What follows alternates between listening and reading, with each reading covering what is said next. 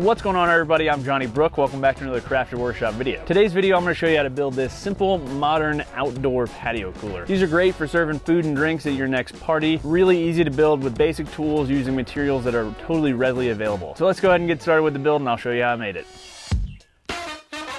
I decided to use black pipe for the base on this patio cooler build, so I started with building the base. Black pipe is kind of notoriously hard to get exact measurements on, so I wanted to make sure the base was going to fit the top section of the patio cooler before building it. I took all the pieces out of their individual bags and threaded them together to form the base. Each leg section forms kind of an H shape, and then the two halves are connected by one long stretcher. After getting everything assembled, I measured and realized I was way off, with the base about 4 inches too long and 3 inches too tall. So after making a trip back to the store, I got the final pieces I needed and then could move on to final assembly. Before assembly, I needed to clean all of the gunk off of the pieces, and luckily, since these parts were individually packaged, they didn't have the annoying labels these pieces usually have, but they were still covered in a coating of grease. To remove this, I used acetone, which cut right through the coating with no problems. After getting everything cleaned up, I could start with assembly. I used thread locker to lock all the joints together and added a few drops onto the threads at each connection point. Once one section was together, I made sure to check its measurements against one of the other sections to make sure they lined up. Next, I repeated the process for the short stretcher sections that connect the legs and long stretchers, and if you've got a vise on your workbench, it can definitely be really helpful in getting these joints tight. I could then assemble each leg section, attaching a leg to each end of the short stretcher, and I also needed to make sure those center T connections were perpendicular to the legs here so that the long stretcher would line up properly. Finally, I could add the long stretcher to complete the base, and I made sure everything was nice and tight and checked all the measurements before moving on to paint. Now, if I left the black pipe as it was, it would have rusted from being exposed to the elements, so to protect it and give it a cleaner look, I sprayed on a few coats of flat black enamel spray paint, which is rated for outdoor use. Now, I wanted this patio cooler to be mobile so that it could be moved to wherever beverages are needed on my patio, so I decided to add some casters. I found these little adapters on Amazon. I'll have a link to them in the video description below, but they allow you to connect casters to black pipe, which is usually kind of difficult. I threaded the casters onto the adapters, made sure they were completely seated, and then used some 5 minute epoxy to glue them into the bottom of the base. While the epoxy dried, I could get to work on the top section of the patio cooler. And this project is sponsored by True Value Hardware, and all the tools I used in this build were purchased at the Howard Brothers True Value store in Duluth, Georgia, along with the Orca cooler I used on this build. Now, True Value stores are locally owned and operated, and these stores take pride in helping their neighbors complete their projects. There are over 4,000 True Value stores in 58 countries, so make sure to visit truevalue.com or click the link in the video description below to find a True Value hardware near you. I started by breaking down one of the pressure treated 2x4s into the pieces that would form the frame of the top section using my circular saw and speed square. I'll have a full cut list and free plans available for this on my website, I'll have links to those plans in the video description below in case you're interested in building one of these for yourself. Next, I clamped the pieces together, checked for square, and then pre-drilled and added 2-inch stainless steel screws in each corner. It's also really important to make sure things are square at this point as everything will be built on top of this framework. I made two of these frame sections and then cut the short uprights to size.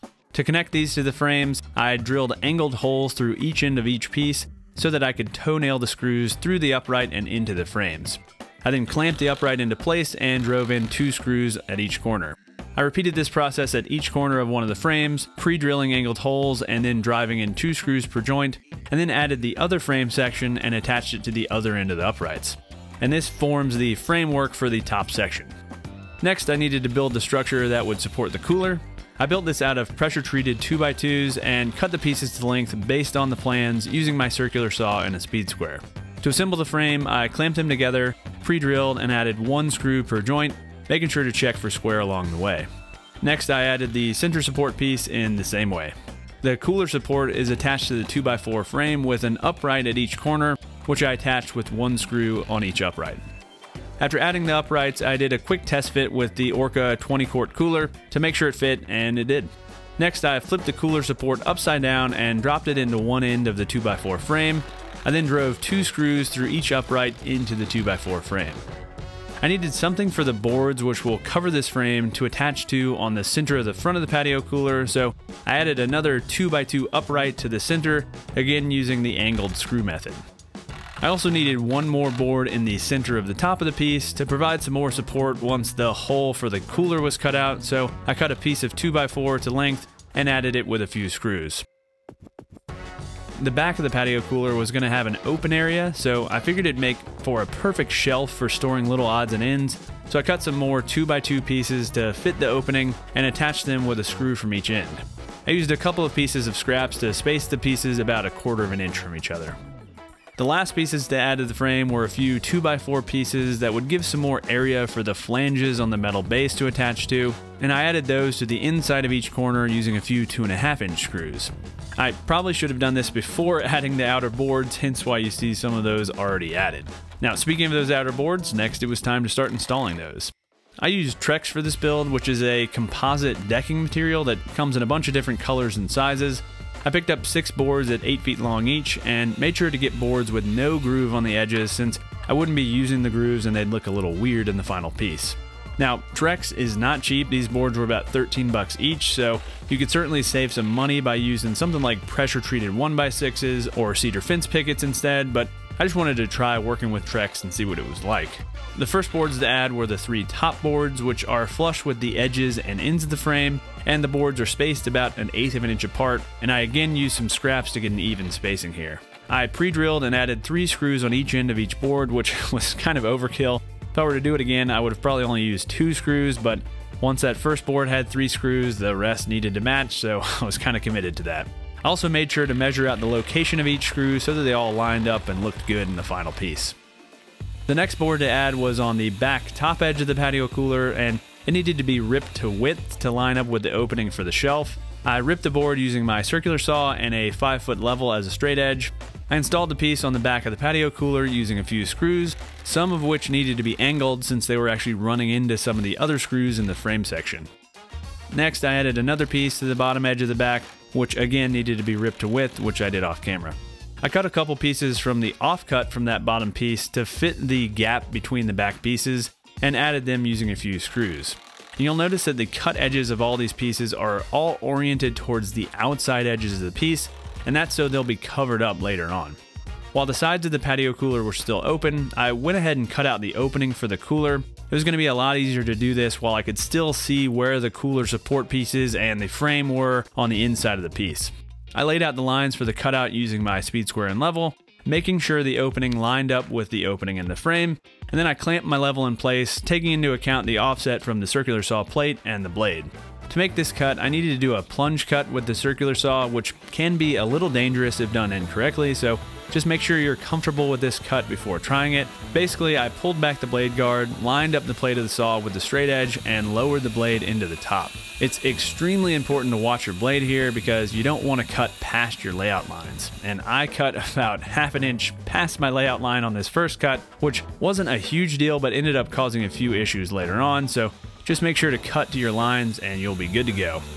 Next, I moved everything over to the other end of the opening, this time using one of the offcuts as my straight edge since the level was a little too wide to use here, and I made my second cut.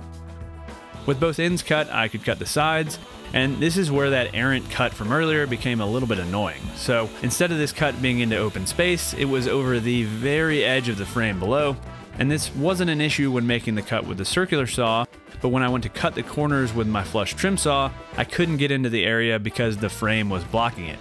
Anytime you're making cuts like this with the circular saw, you have to finish them with some other kind of saw since the round blade of the circular saw doesn't complete the cut. I pulled out my jigsaw since the flush trim saw wasn't working and kind of forced it into the kerf and got it done, but it was a bit of a pain with the jigsaw bouncing all over the place at first, and the moral of the story is just to pay attention and cut on your lines and you won't have an issue. Case in point, the other side cut perfectly and the jigsaw had no trouble completing the corner cuts and a flush trim saw also would have worked there. After finishing the cutout, I test fit the cooler and it fit great. It was a little bit oversized, but that's fine. With the cutout done, I could add the rest of the exterior boards, starting with the sides. Once the sides were attached, I could attach the last of the exterior boards, the front pieces. These run the full length of the patio cooler, covering that end grain on the side pieces and providing a super clean look to the front of the piece. After attaching the boards at each end, I also marked a line down the center and added a row of screws there as well. With that, all the exterior boards were added, so I could go ahead and get the base attached to the top. I flipped the top over, set the base in place, centered it, and added inch and a quarter panhead screws to attach it. The final touch on the patio cooler was to add a bottle opener to the side of the piece. I decided to make things a little fancier and add a few rare earth magnets to the inside of one of the boards so that the bottle caps catch magnetically instead of falling on the ground. To do this, I removed one of the sideboards and drilled a few holes on the inside face of the board using a Forstner bit that matched the size of my magnets. I then used some CA glue to install the magnets into the holes, and I made sure to orient the magnets correctly so that they would catch the caps. After reinstalling the board, I tested it out with a well-deserved beer, and it worked perfectly. And with that, the patio cooler was done. All right, hopefully you guys enjoyed this one. I'm really happy with the way this one came out. I used totally basic power tools and I think came up with something that looks awesome and is super functional. I had kind of a little party get together just to kind of break this thing in and it kind of became the center of conversation. Everybody just kind of hung out around it. You can grab another beer, grab a slice of pizza, and it's just really convenient to have that little bit of extra countertop space as well as having the cooler up off the ground with a bottle opener and having it all mobile so you can move it to kind of wherever you're hanging out. The beauty of using this Trex material is it'll last for years and years. I mean, this stuff I think has a 25 year warranty, so it should last for a long, long time. But overall, I think it turned out great. Again, I will have free plans available in case you guys want to build one of these for yourself. I'd also like to thank the folks at True Value again for sponsoring this video. They challenged me to build a patio cooler and I'm really happy they did because I think this came out pretty awesome. Also, I've added the new YouTube sponsor feature to the channel. In case you guys are interested, there'll be a link in the video description. Also, there's just a sponsor button probably under this video as long as you're viewing it on desktop. But basically, you get all kinds of cool perks. You get a little custom crafted icon next to your name. You get exclusive videos, exclusive live streams. So check that out in the video description below in case you're interested. All right, thanks again for watching, everybody. And until next time, happy building.